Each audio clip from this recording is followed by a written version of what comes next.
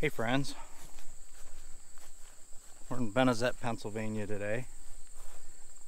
We brought our saddle mules and we're gonna ride up here in the mountains. It's absolutely gorgeous.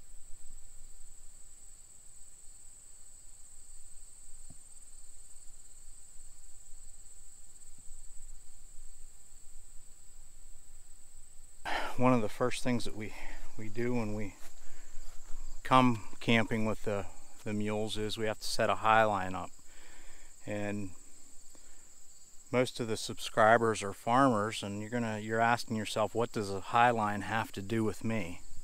Well there's a lot of essential knots that we use on a daily basis on the farm that is used in in setting a high line.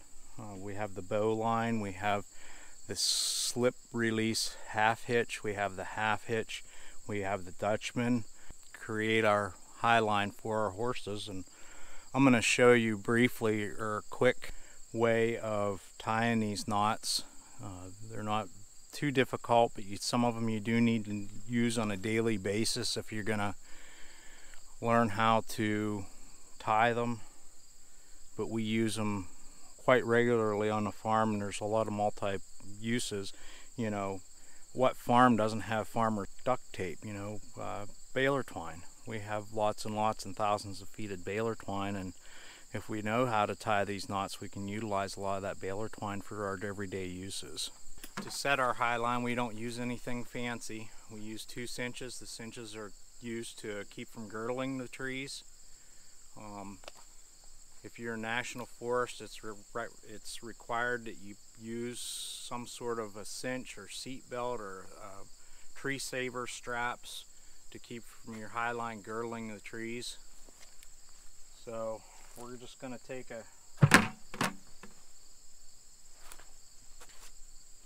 we're going to take a cinch. We try to keep our high line seven feet or higher. We use a cinch on the tree to save the tree. We practice the no trace rule our first knot will be a bowline. We make a loop. Your working end of the rope has to be on the back part of the loop, pointing down.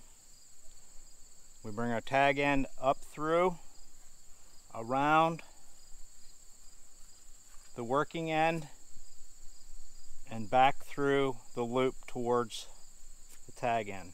No matter how hard you pull that knot, you can still release it or get it untied.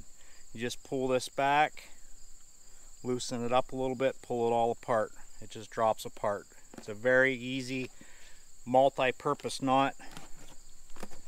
But we'll tie that knot up here on our high line.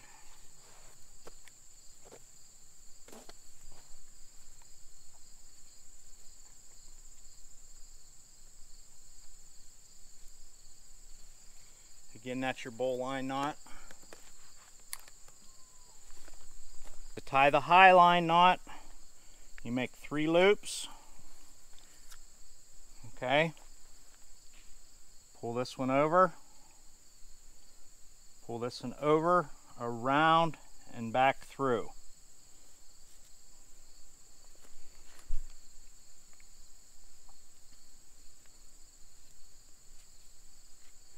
We have four animals with us today, so that's what we'll be using is four highline knots.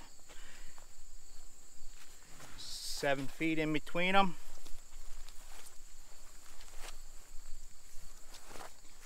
Again, over the hand, over the hand three times. Pull this one over, pull this one over and through. This is a knot that I really have a hard time remembering because I don't use it on a daily basis. Three of them in there. We choose not to use any hardware for whenever we're setting our high lines. I know a lot of folks uh, really like uh, some of the some of the butterfly brackets and whatnot. I prefer to go old school because I have a really bad habit of losing things. So we just go old school and it's one less thing that I'll forget whenever we go camping.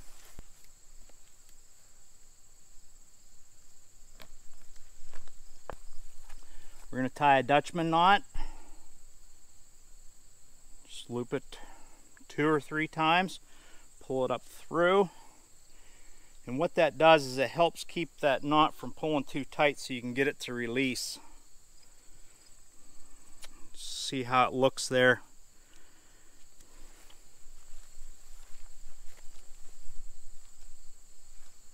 So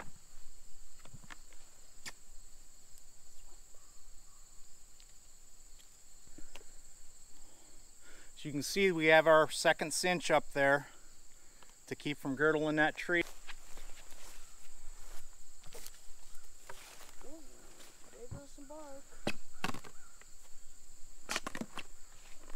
Okay, we need to tie a quick release half hitch. Just basically go around with your tag end and come back through the loop. And we want to take a bite around both ropes. And then to tie it off, we'll do a, a couple half hitches. This will lock the knot into place and it won't come un, undone until we want it.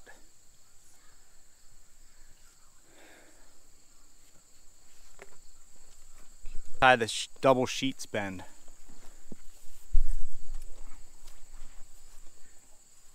We like to keep our lead rope about a foot off the ground.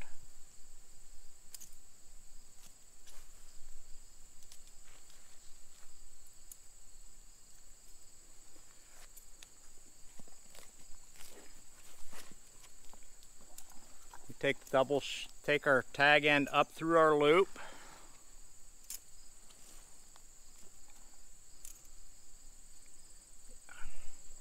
Take it up through our loop around our loop, around our loop, and pull it tight. That knot is very, very useful. That knot is very useful in joining two ropes together. Specifically, you can join pretty much any size rope together, but it really works well to join two different size ropes together. And you can pull pretty tight on that rope and you can still get it get it freed up and, and loosened up. Unlike the square knot I use the square knot a lot to join two pieces of rope also. And it's very difficult to get loose but this here knot if we take that little loop there and feed that up over there feed our working end out it just loosens up and we're good to go Okay, get me some more mules.